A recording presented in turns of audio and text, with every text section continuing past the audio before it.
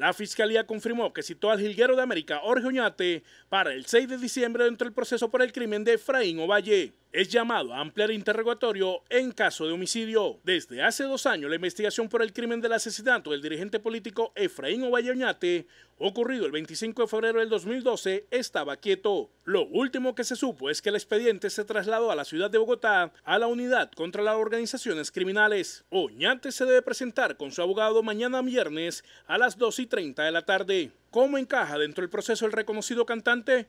Pues fue mencionado dentro del caso por John Carlos Landeros Linares, jefe de los urabeños en La Paz Cesar. Antes de ser asesinado en prisión, el delincuente dijo que a él lo habían contactado para asesinar a Ovalle y en ese contexto surgió el nombre de Oñate.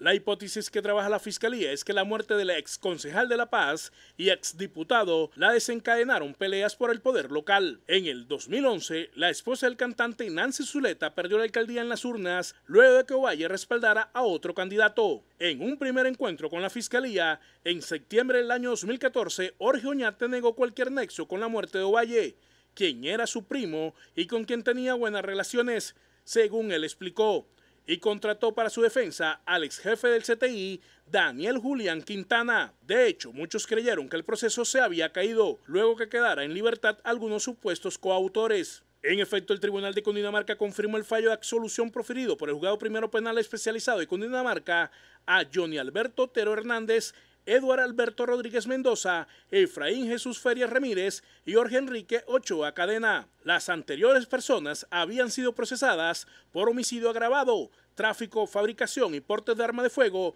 y concierto para delinquir agravado en relación a este crimen.